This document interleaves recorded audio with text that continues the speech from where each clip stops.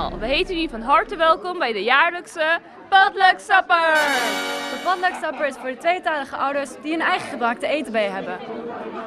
De ouders krijgen dan de kans om elkaar en de leraren beter te leren kennen onder het genot van een hapje en een drankje. Wat zijn uw ervaringen tot nu toe van eh, de Potluck Supper? De Potluck Supper is altijd een hele gezellige uh, bijeenkomst van ouders en docenten. Waar eigenlijk min of meer wel een beetje gezelligheid uh, vooraan staat.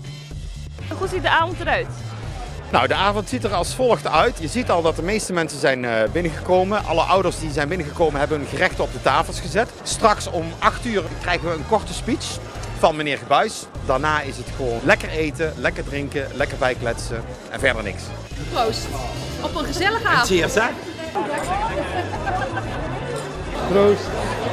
Dus meneer Gebuis, normaal zijn er geen leerlingen bij de Potluck Supper, maar dit keer wel de leerlingen van de India-reis. Hoe zit dat precies? We doen het vanwege het eh, fundraising project voor India.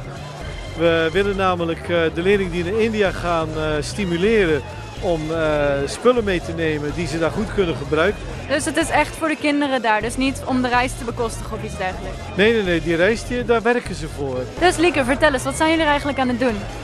Wij zijn hier geld aan het inzamelen voor het weeshuisje in India. Vorig jaar hebben ze een speeltoestel gekocht. Het weeshuis neemt zelf geen geld aan, dus wij kopen spullen voor het weeshuis. Dus waarom heb je eigenlijk gekozen voor de India-reis? Omdat het een heel mooi land is, veel cultuur en veel, veel kleur, heel kleurrijk. En toch wel anders dan Europa en, uh, of China en, en Peru waar we uit konden kiezen.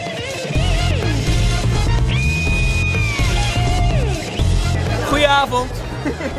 Heeft u nou uw zin hier? Ik heb het uitstekend naar mijn zin. Het gezelschap is uitermate goed en het eten is erg lekker.